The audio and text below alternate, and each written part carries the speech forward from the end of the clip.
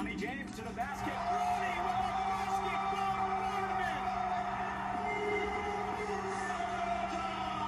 With a! Boy, that boy Bronny James is the truth.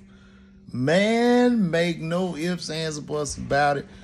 Bronny took him with with the right hand, with the left hand, and switched off to the right. Like, bro, he really caught a body out there on the court, man. Shout out to Bronny and his dad, LeBron, for doing such a wonderful job. Now, Michael Jordan is definitely the greatest basketball player of all time, straight up, followed by LeBron. But LeBron gonna be able to get with Mike because LeBron's children are some true hoopers. I don't know what happened to Michael Jordan's boys, but man, Bron's sons got that work. And I think that boy Bryce, he gonna be even better than Bronny. And Bronny is amazing because typically younger brothers, the younger brothers are always a little bit more athletically gifted, especially when they're a few years younger because they used to playing with their older brothers, so they got to work their way up. Like I couldn't hoop, but my brother's a hooper, very athletic.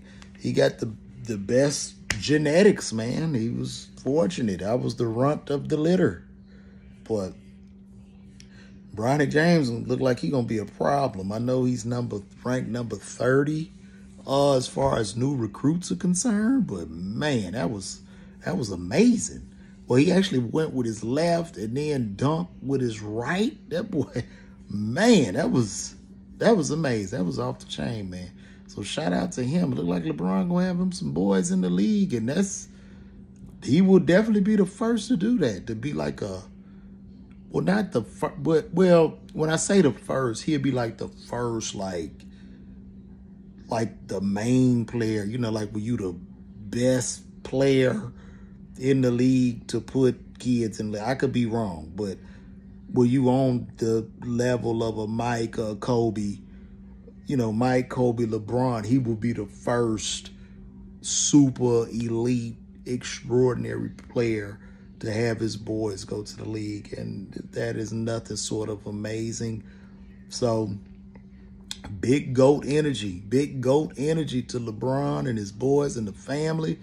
And even though Michael Jordan, to me, is the greatest of all times, amazing player, I still think LeBron is a cooler guy. I think Mike was kind of psychotic on the court. I think Mike was somewhat of a psychopath. His desire to win, I don't, I don't even know where that came from. Mike almost had a sickness. But LeBron to be a cooler guy to go hang out with and kick it with. I'm gonna give him that, man.